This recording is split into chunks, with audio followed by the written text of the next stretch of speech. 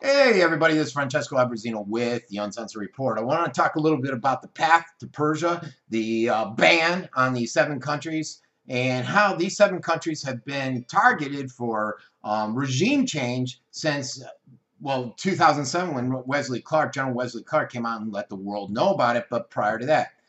It's actually been six of those countries. The seventh, the Yemen, Yemen and Lebanon were interchanging there because they're now on the list. So we got Donald Trump. He's come out with this executive order, which he basically said this is a temporary. Now, I say temporary because it's only for 90 days to give us time to come up with a vetting process uh, of refugees. It's not a Muslim ban. Out of 57 Muslim countries, predominantly dominated Muslim countries, 50 of them can still travel all the way. So it is not by any means a Muslim ban. If you look at how the hundreds of thousands of people that came from Muslim countries only 109 being blocked temporarily is not a Muslim ban. Okay? This is a sit list. These countries were on a list that Obama put together. Regardless of what you heard of, Trump did not put this list together.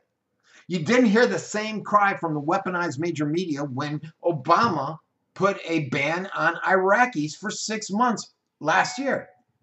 You didn't hear uh, any cries from major media when Obama stopped the wet to dry for Cubans and sent 70 to 80 of them back to Cuba two days before the inaugural event took place.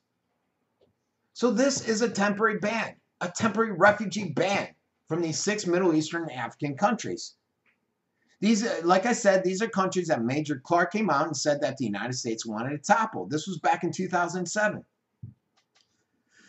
This the other thing to look at is this ban, this refugee ban, temporary, is welcomed by according to the research that just came out, a new poll, 59% of the Americans. I put it out there today.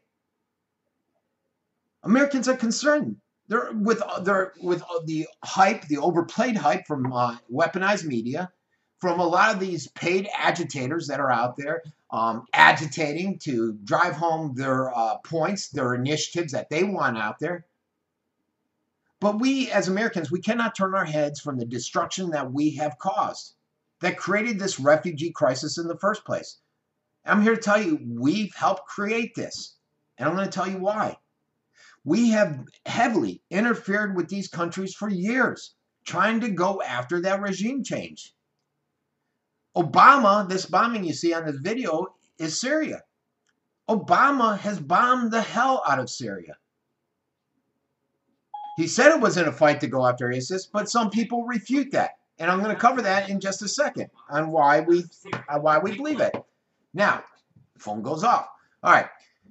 You got these rebels out there. He's been basically funding them. He's been giving about a billion dollars in assistance to rebel groups that are moderate but they're not moderate. They're close ties to Al Qaeda. Some of them, like El Nusar, have even more extreme views than ISIS. So we're out there funding this extreme ISIS group that we're trying to fight and purge out of Syria, supposedly. But we're not because we want to get rid of Assad because Assad would not let us put a pipeline in there which would basically route natural oil away from Russia so we wouldn't have to rely on them. Assad is a friend of Russia and he said, no, get lost. Next thing you know, we're in there, regime change, and sending in money and foreign fighters. Well, Iran, they get pissed. They have a mutual defense agreement, just like the United States has with many countries. And they say, well, we got to come in there. We got to help defend these guys. And they've been going in there and doing that. They've been taking advantage of other Middle Easterns, the Afghanis, Pakistans, Iraqis, and just sending them in there. And they, that created that proxy war. This is essentially Syria is a proxy war between Saudi Arabia and Iran. That's what it is, bottom line. And it's causing a ton of refugees. The same with Yemen. Yemen is a proxy war between Syria or between Saudi Arabia and Iran. Saudi Arabia controlled the government that was in there. Yemen, Iran's backed rebels came in, got them out of power, Saudi Arabia didn't like that, started bombing the hell out of everybody, started using cluster, illegal cluster bombs, illegal tactics. And yet we continued, even knowing what Saudi Arabia was doing, we continued to allow our defense and our military industrial complex to sell them billions of dollars in weaponry just a few months ago, along with Canada. Yes, we are responsible for what's going on in Yemen. backing Saudi Arabia in this war, this proxy war. Libya, Gaddafi wanted to get off, the, go to his own gold standard. NATO powers didn't want that. They couldn't have anything to do with that in 2011. So they sent in and they said, look, we're going to start bombing the hell out of you guys with our planes. And we're going to support the rebel jihadists that are in there trying to take over and topple your government. And they succeeded. Now we got five different, I believe it's five different extremist elements, just like ISIS, and ISIS is one of those elements, fighting for control of Libya. All because of us.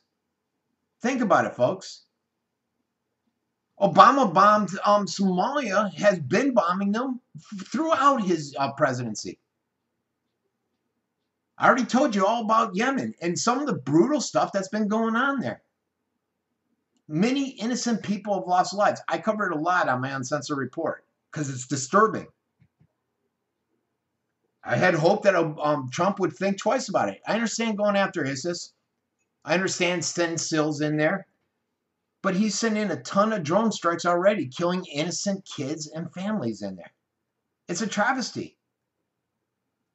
Sudan, we have troops stationed in Sudan going in there fighting regime change, regime change, causing crap like this that you see on the screen with Syria. Yet we're not going to take care of the refugees that are fleeing. We're going to say, no, we can't take care of you. Our hands are washed. And I'm going to cover that in a second. Iran, they need to be on the list. I'm glad they're on the list, but I'm really surprised that Obama put them on the list due to the fact that he had such a good relationship with them, basically letting them uh, rearm for go after their nuclear ambitions, giving them a ton of million flights through the middle of the night. But there are some countries that are missing from this list. Saudi Arabia. Saudi Arabia, the country that has waged a proxy war in Syria and in Yemen. The same country that has foreign policy that helps these terrorists. The same country that finances these terrorists, that gives them the weapons, that trains these terrorists, that exported the radical Wahhabism ideology that had people, uh, um, a significant amount, the majority of 9 11 hijackers came from Saudi Arabia. Why weren't these guys on the list? A lot of people say they weren't on the list because Mecca's there. And if you took them on the list and Muslims go to Mecca, then they're banned. Give me a break. United Emirates, they funded most of the people that 9-11, uh, that passed through 9, on, to handle 9-11. Turkey has been buying oil from ISIS. They've been letting them walk back and forth in their uh, on their boundaries. They've been letting them live there without a problem. And now it's blowing up in their face. Qatar has spent a ton of their wealth out there helping these jihadists fight in Syria and in Afghanistan. That's where Al Qaeda came from. Qatar. I, I mean, come on. Why isn't Qatar, Turkey, United Emirates, or Saudi Arabia on this list? in essence, the countries kept off the list are the ones that have gone out and created all these problems. Yet the the countries that are in there that are dealing with these problems are the ones that are getting action taken against them. They're the ones being punished. How does that sound fair? And I understand it's one thing to want your safe country safe from infiltrating terrorists. I get that. I'm all for this ban list. Trust me, I'm for it. This temporary ban not of all Muslims. Like I said, there's only seven countries out of 50. It's not a Muslim ban until we get a vetting system in process. Because we've gone out there and we've created this crisis. We've assisted through money, through weaponry, through uh, our, our foreign policy. We've done it. And if we can go over to these countries and create uh, havoc, then we need to be responsible for the refugees that had nothing to do with it innocent kids and women and children and, and men. Yes, men too, elderly men, some young. A lot of them had nothing to do with it. By, by us going in and destroying these companies and countries and not helping them, it's only we're only going to create more and more future ISIS type players in the field. Think about it, folks. Now, I like one thing that Obama's doing. Besides the vetting process, I think it's great. I think we need a vetting process. Our process has been basically, are you with ISIS? No. Good, you can commit. That's not a vetting process. Okay? What we need is, and I like this idea, is a safe zone. Going to these countries, going to Iraq, going to Libya, going to Syria. Create a safe zone.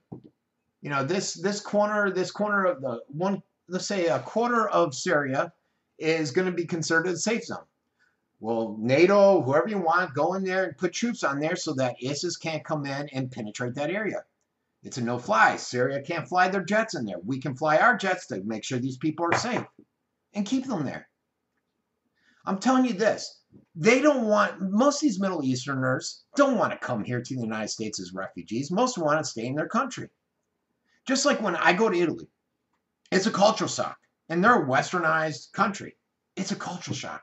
Can you imagine the cultural shock these people go through when they come here? It's hard. I lived abroad in a year in Italy. It's not that easy, folks. Totally different cultures. Most of these people want to stay there. Why not create these safe zones for them? Let them stay there.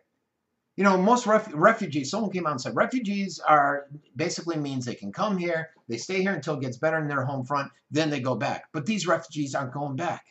They're staying here. And I get we need some, and I'm all for refugees coming here. My dad was an immigrant from Italy. I get it. But we need a better vetting process or these safe, safety zones that I've heard Trump mention. What say you? This has been Frankie Abbruzzino with the Uncensored Report.